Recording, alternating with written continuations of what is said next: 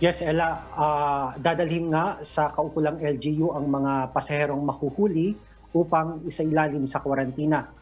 At dahil nga sa bagong variant ng COVID-19 na nakita sa Malaysia, nagpatupad na ang Provincial Interagency Task Force ng Tawi-Tawi ng travel ban sa lahat ng mga biyaherong mula Malaysia patungo sa limang munisipyo sa lalawigan.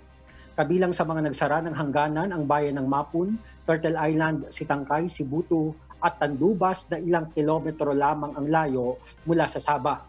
Magsasagawa naman ng pagpupulong si Provincial Governor Ishmael Sali sa mga LGU upang matiyak na naipatutupad ang minimum health protocols sa nasabing mga bayan. Nagsanib puwersa na rin ang Philippine Coast Guard, Philippine National Police at Armed Forces of the Philippines sa pagpapatrolya upang mapigilan ang lahat ng pampasaherong barko o lansya na makapasok sa lalawigan. Samantala, isa sa ilalim sa total lockdown ang buong Sabah sa Enero 16 ng susunod na taon.